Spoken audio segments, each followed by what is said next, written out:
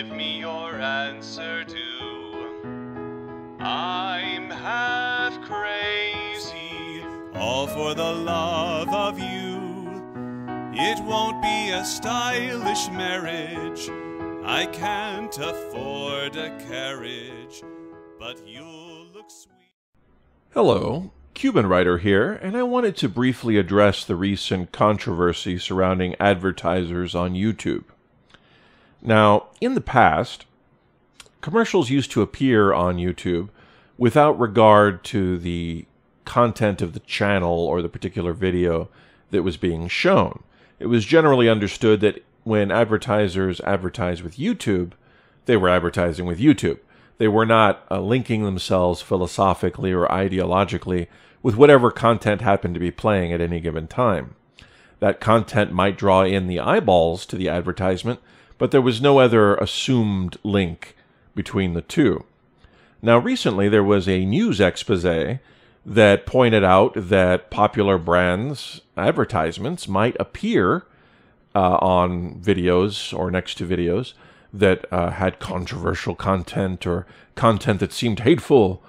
And so the advertisers, uh, not wanting to be negatively associated in this way, they went ahead and they pulled their advertisements until such a time as YouTube could guarantee that their advertisements wouldn't appear next to anything that could potentially harm their brand image.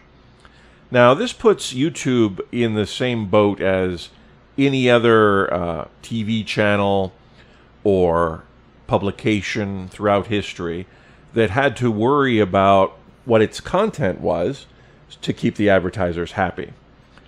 This is a great blow to those people who really valued the free speech environment on YouTube, where they felt that any idea that people were interested in would win, even if it happened to be controversial or unpopular.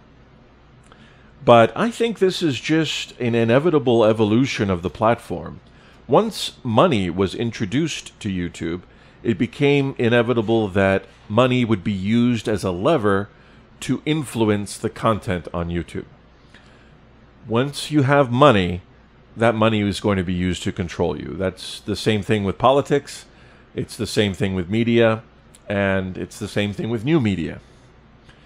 But I don't think this is necessarily a reason to panic, because I think the sensibilities of major corporations are not going to be the same as the sensibilities of smaller corporations.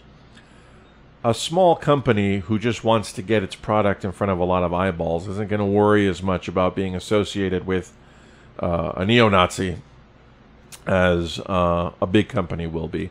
And I think there will become different tiers of advertising service in time once YouTube figures out its its system better. They're still growing. They're like children. They only introduced introduced monetization a short time ago in the grand scheme of things. So I think there'll eventually be uh, multiple tiers of advertising.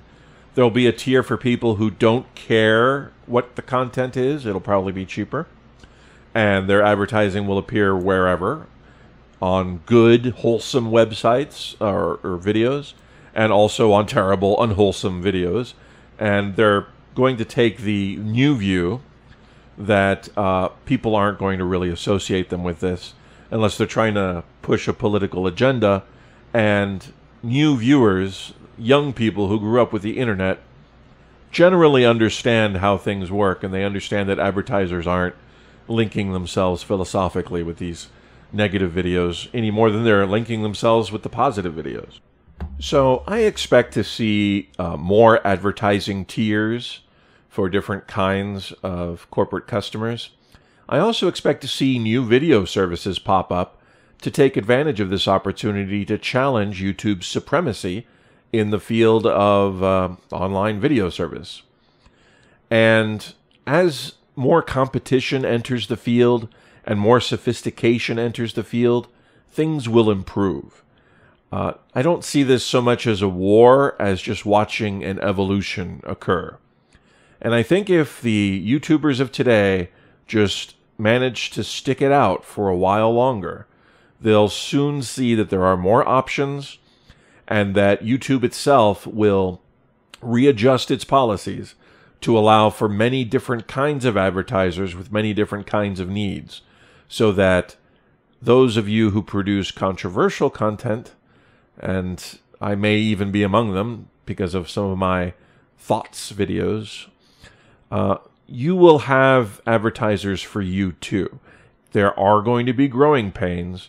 You just have to hold on tight and get through it. If maybe that means you have to make a few less videos uh, in, and maybe get an alternative source of income. Maybe maybe some of you will push the Patreon a little bit harder or sell products. Whatever you've got to do to get through the interim period, go ahead and do it because new frontiers are going to open up. The market always responds to need. And right now, a lot of you who are losing revenue still have eyeballs. As long as you keep those eyeballs, there will always be an incentive to send advertisers your way. Those are my thoughts on the issue, and thank you for listening. See you next time.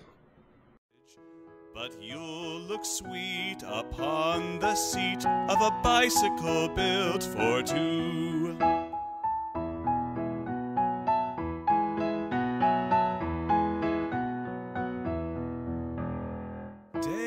Daisy, Daisy, give me your answer, do.